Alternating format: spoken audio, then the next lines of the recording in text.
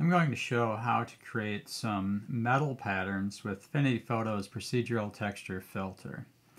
Um, I created this one with that and I've got some others here that I'm going to show at the end. Um, and if you saw my previous video on making a agate texture, uh, this process is similar to that one. So I've got several copies of the procedural texture here followed by a gradient map, and then followed by a bump map. So I've got several layers of texturing going on with this. So to get started, I'm going to start with a new uh, document. Let's make it 1024 by 768, and I'm going to fill it with black. I'm going to start with a new procedural texture. I'm going to do an equation I'm going to start with a coordinate, var v equals vector 2 of rx ry times a divided by w. Like last time, I'm going to replace the xy vector with a noise function. So in this case, I'm going to use the I think last time I used cell noise, this time I'm going to use Perlin noise as the xy vector. So I have, um, so just the opposite of last time. So I'll call it v2 equals um, vector 2 of Perlin cubic. And that has, uh, I'm going to take v as the input for that one and then the octaves, and then the smoothness factor. So I'm going to use cell noise 2, and that one I have to separate out the x and y components of the vector. So I'm going to use vector v2 dot x and v2 dot y, and then um, it has another factor. I'm going to just call it b, and that will be the number of lines actually.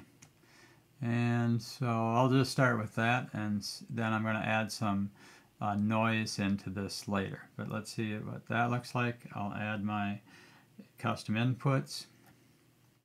I've got to have a scale for A. I have a real value for octaves, that's O. See, I'll set this one to 6 and this one to seven. And then I'm going to add a slider for the smoothness. And I'm going to add a factor B, and I'm going to call that lines.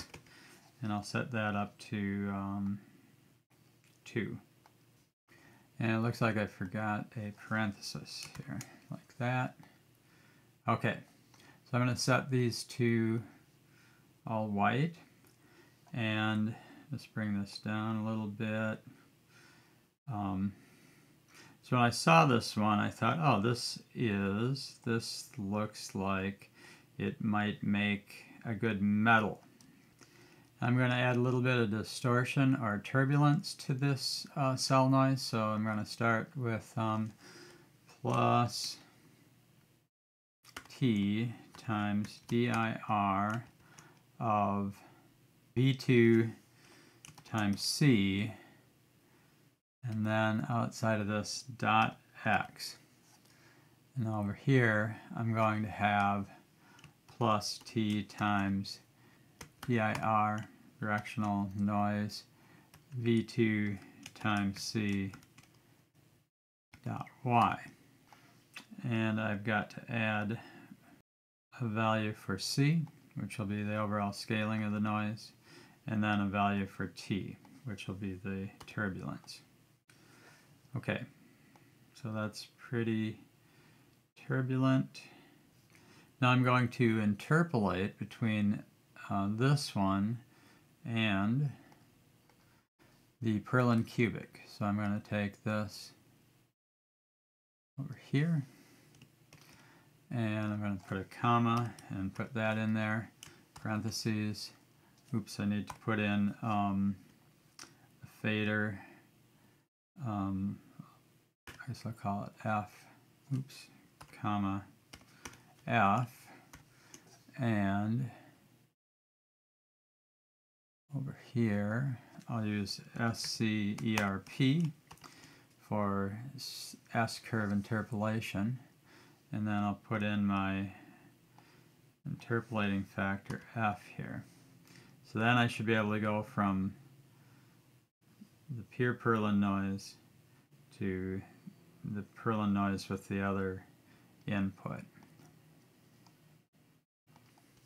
Next I just want to scale this up and so I'm going to uh, multiply by, I'll just call it I1 and then times 2 times this interpolation factor. Turbulence, scale, and then turbulence. And this one is, I'll call this one mix. And then I'm going to have a I1 is just a fader for the function. And then I'm going to also have an offset that I can have go from minus 1 to 1. So I'll call that off. And I'm just going to add that out here at the end of everything plus OF. So that way I can you know, take some of this off if I need to. So I'm going to bring this down. And now I should be able to adjust it. I don't want any areas that have a lot of all white and a lot of all black in this.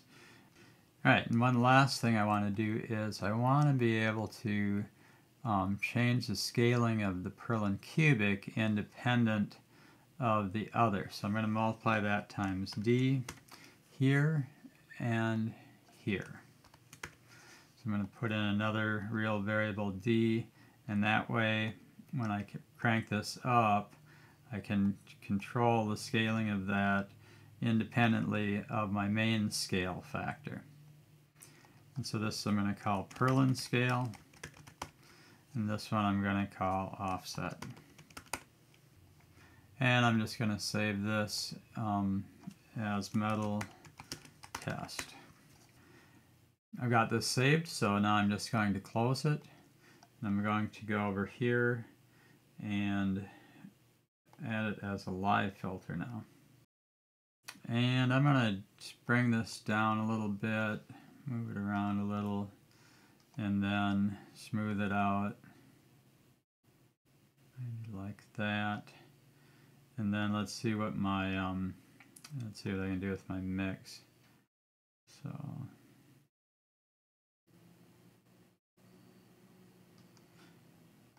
bring this up, bring this down so I don't have so much so I don't want any that are too white or too dark. Okay, so that's pretty good. So I'm just going to close this like that. And then I'm going to go and add a gradient map. Uh, okay, so I'm going to make try to make this one look like rusty metal. And so I'm sort of thinking from the bottom up here. So I'll start with um, this and make it a dark red color and I'm looking at a reference image. I'm not going to show it on screen, but I'm looking at a reference image for this one.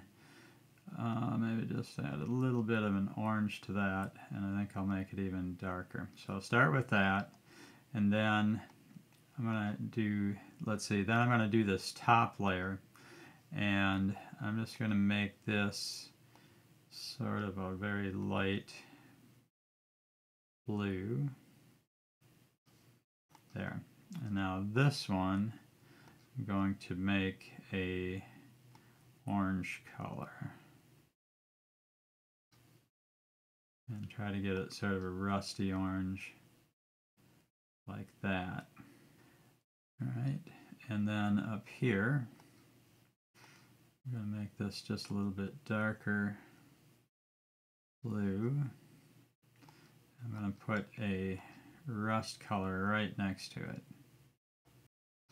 Alright, and then down here I'm going to add a little bit of rust in here.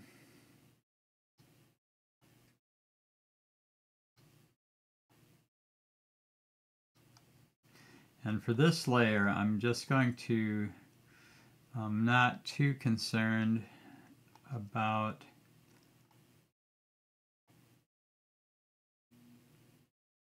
what it looks like because later on I'm going to have a, I'm going to add another layer on top of this. So this is just the first of several layers. Although I'll use the same gradient map for I guess all of them. And then this one actually has um, some rust. This of like a blue paint in my reference image, and, but I have a little bit of rust showing through. And that rust is a little more yellow. So I'm going to put this one, it's going to be the blue color. And then I'll put another blue up here. And this one, I'm going to add a little bit of rust on that one. And I'll probably, we'll see how that goes. All right, so I'm going to stop with this now and I'll maybe work with it a little bit more later when I get to my next level. So there's sort of my overall uh, image. doesn't look too, like too much yet. So hopefully I'll have it looking better by the time I'm done with this. Now I'm going to add another layer. So I'm going to add another filter. I'm going to use the same uh, one. So I'm going to use the same metal. I'm going to put it down inside of this one like that. And now I'm going to um, adjust this one a little bit. So let's see what I can do with this one on top of the other one. And I'm going to, um, I think what I'll do is I'm going to actually mix these and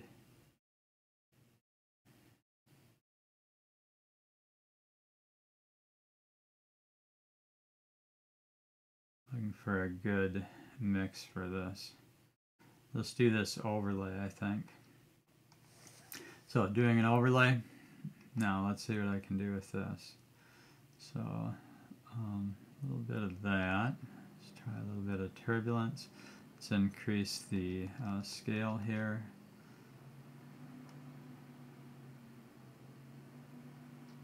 And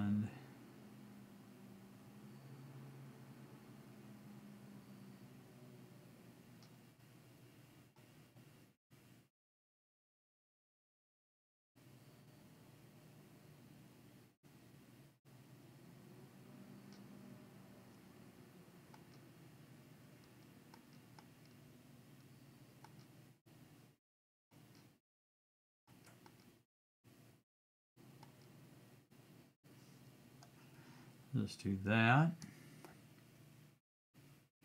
Oh, and then I can also, I can check this, I can bring this all the way down, and then I'm just going to bring it in, fade that in, and it's interpolating as it brings it in. Alright, so I'll leave that on. I'm going to go back and uh, see if I can adjust this a little bit.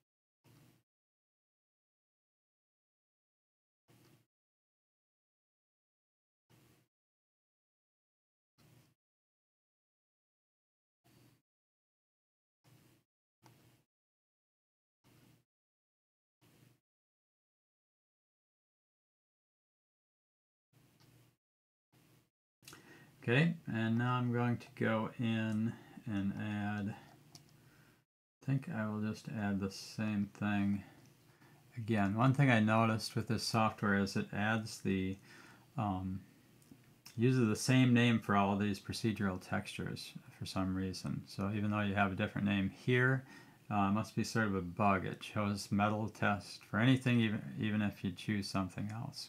I think it will do that. Uh, I'm going to do, well, I think I will do that one again.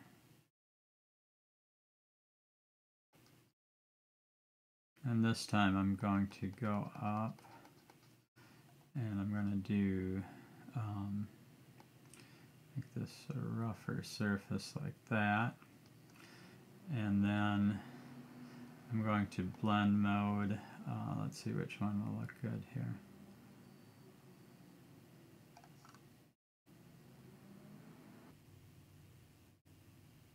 So I'm going to do lighten, and I'm just going to bring this all the way down and bring it up.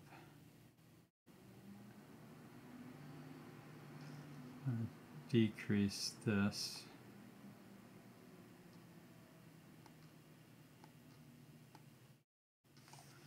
And I'm going to look at this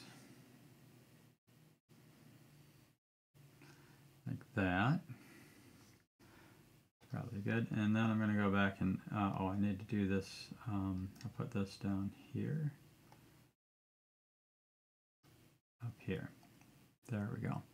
And then I'm going to look at my gradient and think I'm going to move this over, move this over, and I think I'm going to move this over.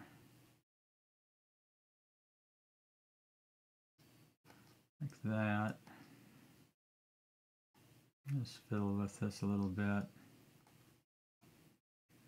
Alright, and so I'm going to save this, add this, I'm going to call it uh, Rusty, like that. And it'll show up over here under adjustments, but if you don't see this adjustment uh, tab over here, you can add that by going up to window, at least in Windows, and then here it is. Make sure there's a check by that. And then you'll be able to see those um, things that you saved over there. So I think that looks pretty good. I'm going to now, I'm going to add a little bit of a bump map to this to add a little bit more um, effect to this. And it may not look I could probably spend a long time working on this. Actually, I'm going to tweak this just a little bit. I think I want to get a little bit of darker color in here. Okay, it's getting good and rusty now. Now I'm going to add um, a bump map to this so it looks a little more pitted and I should probably redo my bump maps so they're a little more complicated than they are but for this one I'm just going to add the um, so you go to lighting and just add the Perlin bumps. They look like that. And I think, let's make them a little bit orange for this thing because maybe it'll help. And I'm going to change the direction of the light so they look like it's dented in here. And I'm going to increase this and let's see how that looks. So now I'm going to go to apply this and I'll look at which one looks good, so not that one. Um, and I'll back it off later. Um, usually, let's see, so I think the uh, soft light will probably look pretty good. Yeah, I think soft light is going to be have to be the one.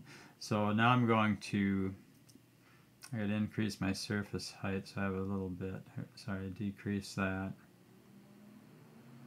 So it looks nice and rough. I think I'll bring this up to maybe like 200. Uh, that's maybe too much. And if it's clever, I could maybe get it out of this area, but we'll leave it there. It's sort of bubbling up on the surface. I'm going to zoom in a little bit and see how this looks. And so that looks pretty good. Um, all right, so I think I'll call that good. And then if I want to save a sort of a snapshot of this, I'll just zoom in a little bit here. And it's, um, I only had 1024 by 768, so it's not super high res here. But uh, that's that. So now if I want to do a snapshot, I just go to Layer, and merge visible. And it sort of saves one up here. I'm going to go back to my other document and show some of the metals I came up with. So this was sort of the first one I did, sort of a rusty light metal, or maybe that's paint on there. And then um, I did this cast iron like that. And then I did one that's just looking at the bottom of a copper pan that had sort of a lot of um, wear on it. And then I wanted to do one for brass. I'm just going to zoom out a little bit on that one. And then I thought sort of like an aged brass like this. And I tried to put some dents in. I could probably, you know, fix up these a little bit so they look a little more realistic like dents in there. But uh, that's all I've got so far. And um, let me know if you have any comments or questions. And thanks for watching.